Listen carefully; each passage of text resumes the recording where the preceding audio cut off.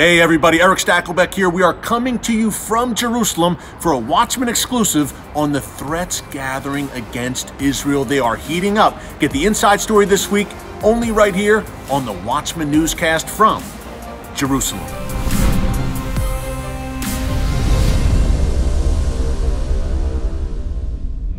Shalom from Jerusalem, folks. We are here for the third annual Christian Media Summit. It's a great event put on every year in Jerusalem by Israel's government press office. There's some great panels here with some incredible speakers from around the world. Prime Minister Benjamin Netanyahu will be speaking. The U.S. Ambassador to Israel, David Friedman, will be here. Israeli President Reuven Rivlin, and many more will be at the Christian Media Summit. I am honored to MC an event here at Trump Heights this brand new town in the Golan Heights dedicated in honor of President Trump after he declared Israeli sovereignty over the Golan, recognized that earlier this year. So it's going to be a very exciting event here in Jerusalem this week, but it's taking place against the backdrop of an increase in attacks against Israel, in particular out of Gaza. Over the weekend, we saw Hamas and Palestinian Islamic Jihad rockets once again raining down on southern Israel,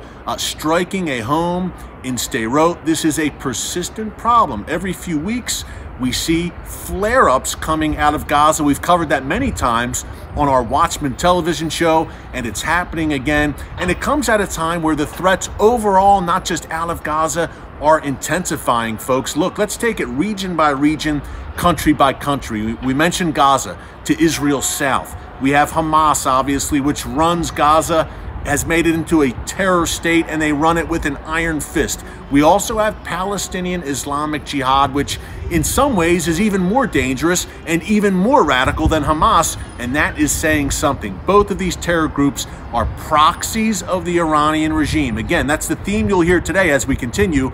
Iran is the head of the snake in the terror onslaught against Israel. So Gaza heating up, seems like it's always heating up. Let's take it to the north. Let's take it to Lebanon, southern Lebanon in particular, Hezbollah country. Now, you've probably been following the past few days, past few weeks, these large protests in Lebanon, in particular in Beirut, hundreds of thousands of Lebanese citizens uh, in the streets protesting against Lebanon's government.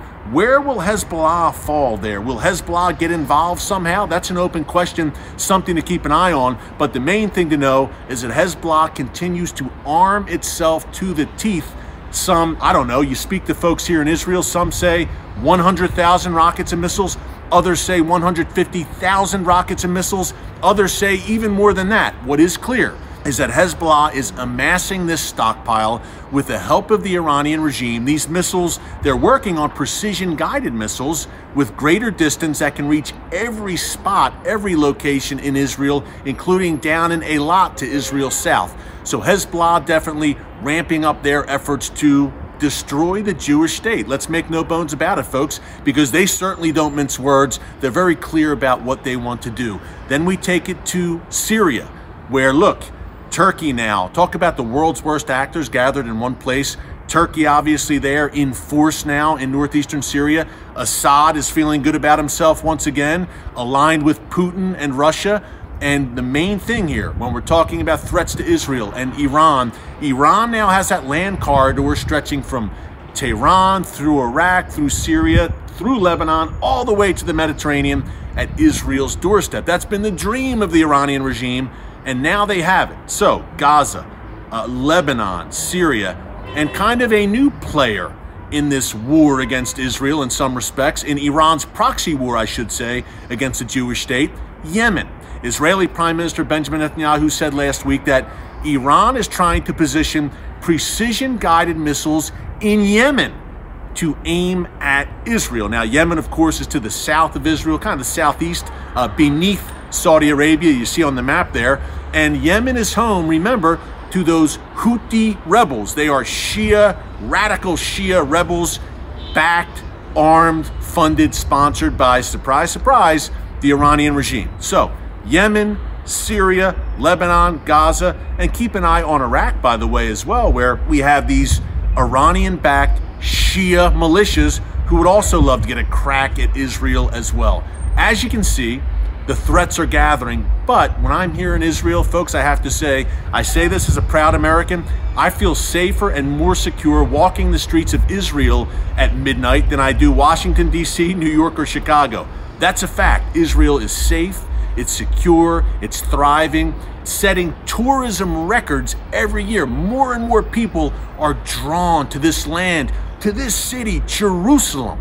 Why? Because it's God's city and we are living in Bible times and God is moving. All the chess pieces are moving on the board and all roads lead to Jerusalem. You know, the Bible says that God sees the evil schemes of Israel's enemies and he laughs because the God of Israel neither slumbers nor sleeps. So Hezbollah, Hamas, the Iranian regime, Erdogan of Turkey, and all the rest continue to gnash their teeth, plot, and plan, but it will be all for naught in the end. Israel is strong, Israel secure, and the God of Israel, the God of Abraham, Isaac, and Jacob is watching over this land. So, been great coming to you on the newscast this week from God City, Jerusalem. We're going to give you an update hopefully next week on the Christian Media Summit. It's going to be a great event, lots of news coming out of there. Pray for Israel, pray for the peace of Jerusalem. Subscribe to our Watchman News channel right here on YouTube. We are growing every day because of you, and we're very, very grateful. So subscribe to our news channel. Tell your friends, family, co-workers to subscribe right here on YouTube every Thursday, bringing you the kinds of breaking, cutting-edge updates that you just won't see anywhere else. Go to CUFI.org while you're at it. Join our movement at CUFI. And last request from Jerusalem, check out the Watchman television show every Friday night, TBN 10:30 p.m. Eastern, Fox Business Network on Sunday nights, 12:30 a.m. Eastern. So you have your assignments. Subscribe to the Watchman News Channel. Join CUFI, CUFI.org, and check out the Watchman TV show on TBN and the Fox Business Network. Those are your orders from Jerusalem, so you have to listen. Thank you for joining us this week from God's city. Much more to come. Pray for the peace of Jerusalem. Pray for the people of Israel. Until next time, God bless you. And remember, never hold your peace.